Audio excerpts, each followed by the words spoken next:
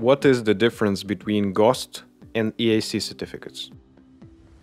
GOST used to be a common name for Russian certificates.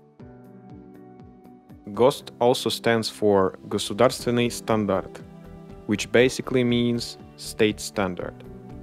About 10 years ago, most certificates needed for sales in Russia were GOST certificates. And they are now being gradually replaced with EAC certificates and declarations that are also known as TRCU certificates. But make no mistake, GOST standards still apply. EAC documents are issued on the basis of both technical regulations of the Customs Union and old GOST standards. If you want to check whether your product still requires GOST or it is now subject to EAC certification, feel free to contact us at contact at wwg.eu.com.